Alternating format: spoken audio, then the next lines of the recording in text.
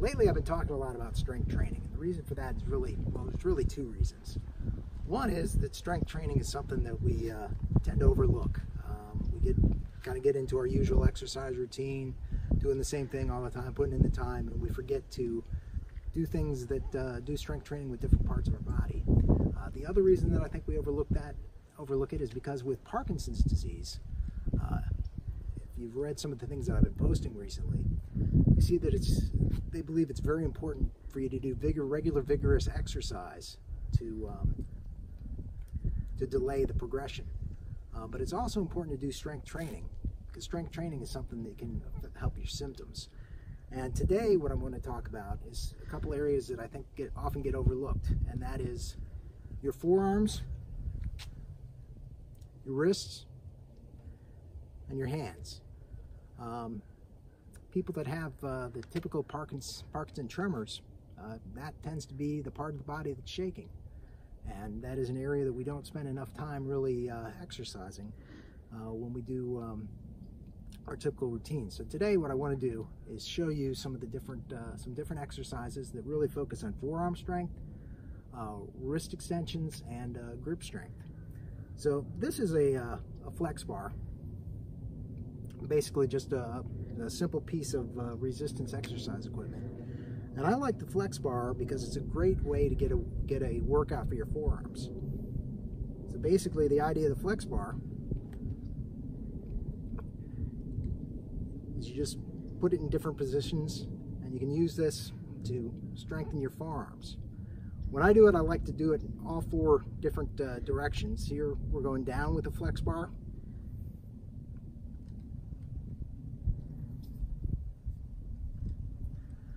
Also like to take it in this direction.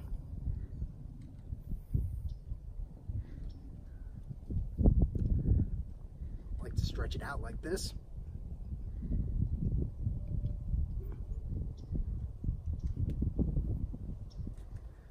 I also like to try to bring it toward me.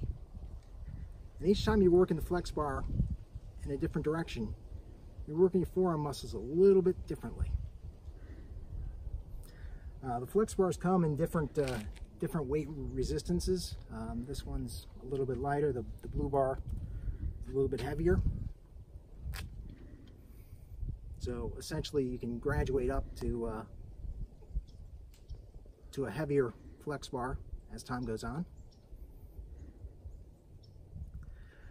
Another thing that's uh, also good to do with the flex bar, useful, is just uh, practice some of your hand and hand-eye coordination and your uh, and, and your grip. Just tossing the flex flex bar.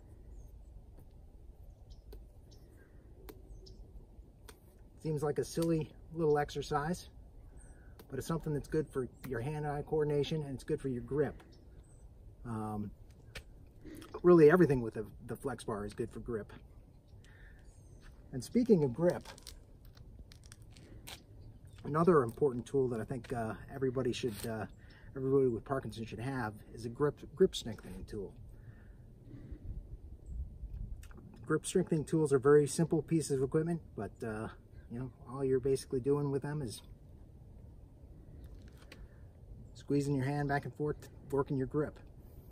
Um, I've noticed that on my Parkinson side, which is this one, my right side here, it's a lot more difficult for me than on the left side, which does the exercise very easily. Um, there have definitely actually been some studies uh, that have looked at grip strength as being one of the things that is characteristic of representing the, your, your progression, your decline, the severity of the Parkinson's disease. There was a study out a couple of years ago that uh, looked specifically at grip strength. Um, and they had the neurologist test the patients on grip strength and, and, and, and all the other typical tests. And what they found was that uh, grip strength alone was a pretty good indication of the of the severity of the Parkinson's disease. People with more advanced stages of Parkinson's disease have a bigger problem with grip. So I'm not saying that by by exercising your grip that it's going to slow down Parkinson's, but what I'm saying is that as your Parkinson progresses, you're going to have more and more of a problem with grip. Uh, things, you know, things like uh, when you're opening up uh, a jar, uh, you're going to have a lot more trouble with things like that. So grip strength ex exercises, very important. Very good thing to be, uh, very good thing to work on every day.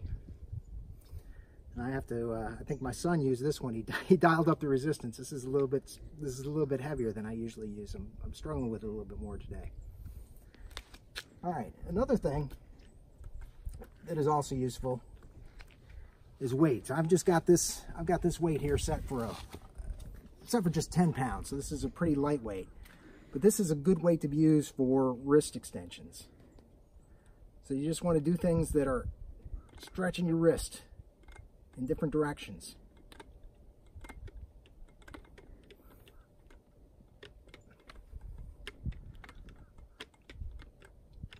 I like to try to do sets of these. So maybe, you know, maybe a set of 20 up and down,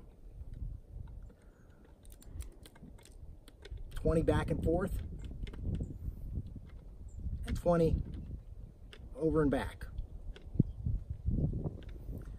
Uh, you can also use the weights to, uh, to practice your grip as well, kind of do finger rollouts as part of the process. So these are just some simple ideas for strengthening your forearms, working on your wrists, and working on your grip.